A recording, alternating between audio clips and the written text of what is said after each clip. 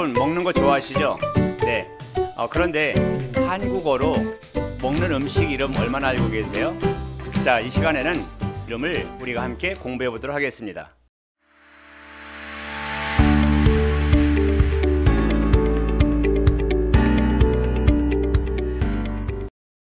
자, 여러분 안녕하세요. 한국어 TV의 한글쌤입니다. 어, 지금 대한민국은 먹방에 대해서 지금 난리가 났습니다. 무슨 얘기냐고요?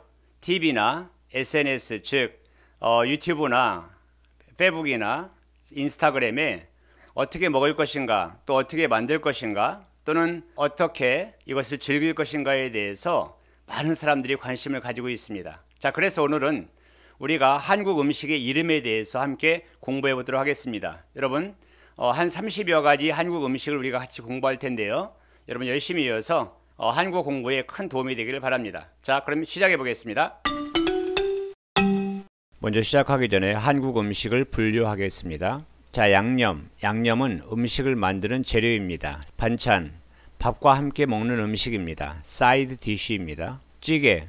찌개는 그릇에 채소, 생선, 고기와 양념을 넣고 끓인 것을 말합니다. 국. 국은 그릇에 채소, 생선, 고기에 물을 찌개보다 더 많이 붓고 끓인 것을 말합니다. 오늘은 30가지 음식의 이름에 대해서 함께 알아보도록 하겠습니다. 한국에는 한국에는 밥을 밥을 주로 먹습니다. 그래서 쌀밥, 보리로 만든 보리밥 이렇게 부릅니다. 비빔밥, 비빔밥은 여러 가지 음식 재료를 한 그릇에 넣어서 비빈 것을 말합니다. 볶음밥. 볶음밥은 여러 가지 음식을 한 그릇에 넣고 기름을 넣고 튀긴 것을 말합니다. 김치. 김치, 불고기. 불고기의 재료는 돼지고기입니다. 물론 소 불고기도 있습니다. 갈비.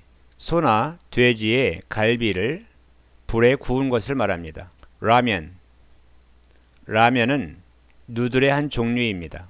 삼겹살, 삼겹살은 어, 돼지의 베이컨 부분을 어, 프레이팬이나 숯불에 구운 것을 말합니다. 계란 후라이, 김치찌개, 김치를 넣고 찌개를 끓인 것을 말합니다. 동태찌개, 주 재료는 동태, 참치찌개, 참치찌개는 tuna stew입니다. 생선찌개, 된장찌개, soybean paste입니다. 주 재료가 된장으로 만든 것입니다. 갈치찌개, hairtail stew입니다. 두부찌개, 두부를 tofu, tofu를 주 원료로 만든 찌개입니다. 순두부찌개, soft tofu stew입니다. 부대찌개, 여러 가지 햄 종류를 넣고 끓인 찌개를 말합니다. 버섯찌개, mushroom stew입니다. 떡국, 떡국은 주로 새해 먹는 음식인데 sliced rice cake soup입니다.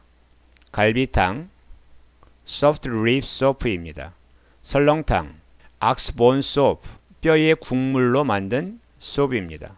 계란탕, 계란탕, egg soup입니다. 만둣국, wonton soup입니다. 콩나물국, bean sprout soup입니다. 소고기국, 소고기 소프, 한국말입니다. 미역국, seaweed soup입니다. 해장국, 해장국은 피곤이나 술을 먹은 후에 피로를 풀기 위해 아침에 먹는 soup입니다. 국수, noodle입니다. 칼국수, handmade chopped noodles입니다. 즉, 어, 칼로 직접 면을 잘랐다 해서 칼국수라고 합니다. 여러분 한국 음식 김치, 불고기, 비빔밥, 김밥 뭐 이런 것만 알았는데 상당히 종류가 많죠. 다시 한번 복습해 보도록 하겠습니다. 쌀밥, 쌀밥, 비빔밥, 비빔밥, 볶음밥, 볶음밥, 김치, 김치, 불고기, 불고기, 갈비, 갈비, 라면, 라면, 삼겹살, 삼겹살, 계란 후라이, 계란 후라이, 김치찌개, 김치찌개. 동태찌개, 동태찌개. 참치찌개, 참치찌개. 생선찌개, 생선찌개. 된장찌개, 된장찌개. 갈치찌개, 갈치찌개. 두부찌개, 두부찌개. 순두부찌개, 순두부찌개. 부대찌개, 부대찌개. 버섯찌개, 버섯찌개. 떡국, 떡국. 갈비탕, 갈비탕. 설렁탕, 설렁탕. 계란탕, 계란탕. 만둣국, 만둣국. 콩나물국, 콩나물국. 소고기국, 소고기국. 미역국, 미역국. 해장국, 해장국.